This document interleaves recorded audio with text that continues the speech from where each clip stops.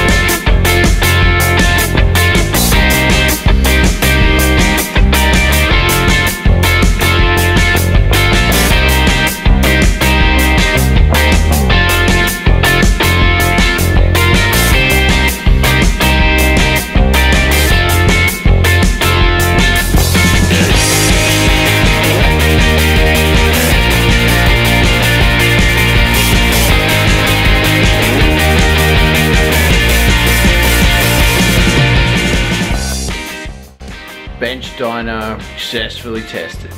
Everybody was gone.